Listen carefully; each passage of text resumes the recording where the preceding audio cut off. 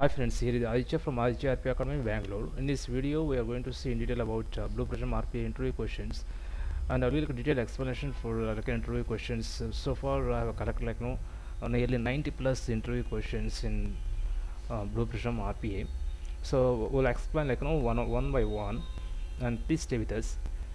So first, the question is: suppose someone asks like, what do you know about Blue Prism? And first of all it's a blue prism is an rpa tool. It's a one of the rpa tool. There are like various tools available in the market like uh, UiPath, Automation Anywhere work fusion, etc. And first of all, if someone asks you like what is Blue Prism and RPA, so Blue Prism is a set of tools, libraries, and runtime environments for automating business processes through presentation integration so these are the main components available in blue prism so by default so blue prism has a built-in support for connecting to various kinds of applications like user interfaces including like browser-based HTML interfaces, Windows interfaces, mainframe applications accessed via terminals, and interfaces built using like Java. So whatever the in you know, interface technology, the adapter used to connect to an application called so visual business objects.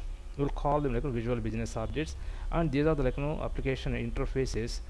And next, so in each visual business object implements a particular set of operations against application's user interface. For example, so VBO might be capable of logging to an application, entering a customer name into, into a particular screen, and retrieving a result then logging off. So each visual business object exposes its operation to a blue prism process. So to create like a blue prism process so we can develop in in a process studio so this tool lets user graphically define the steps in the process each of which involves an operations in VBOs to interact with an application. In a very real sense a blue prism process acts like an human user. Like accessing like each application to carry out the business process.